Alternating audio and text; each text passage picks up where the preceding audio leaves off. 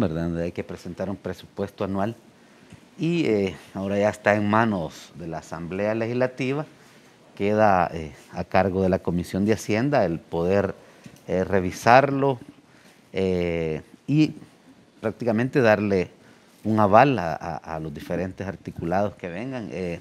yo creo que el, presupuesto debe de ser apegado a la realidad.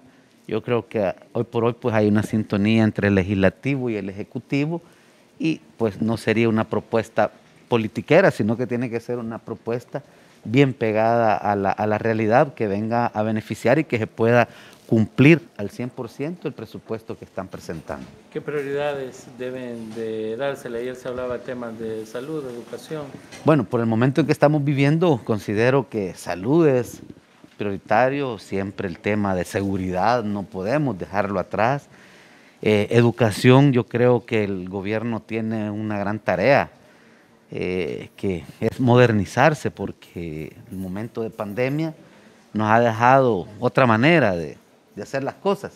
Y en educación creo que es uno de los que más ha sufrido ese cambio. Yo creo que en educación debe de dársele un aporte muy importante.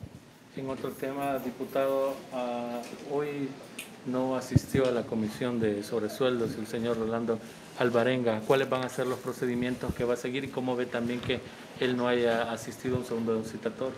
Bueno, yo creo que eh, el no haber asistido es una irresponsabilidad. Yo creo que el hecho de que está fuera del país puede interpretarse también que se fue antes de que lo, convocaran, pero ya se sabía que lo iban a convocar. Entonces, creo que fue de una manera ya eh, premeditada.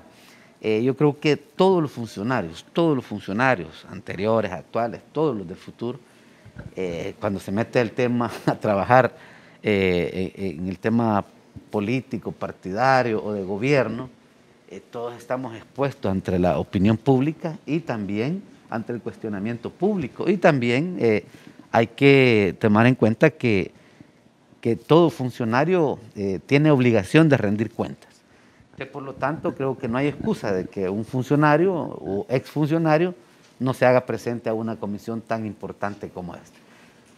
¿Qué medidas se van a tomar? Pues eh, lo será la comisión eh, que se ha conformado para investigar el tema de sobresueldos, el procedimiento y también, eh, por ahí también vimos un tuit del presidente de la Asamblea manifestando que se puede mandar a tres por premio. Entonces, yo creo que cualquier cosa puede pasar en estos momentos, pero yo creo que nada cuesta eh, como siendo una persona responsable llegar a la primera cita y exponer y someterse a las preguntas que sean. El presidente de la comisión ya hizo un, un llamamiento al director de la policía para que se mande a traer por apremio al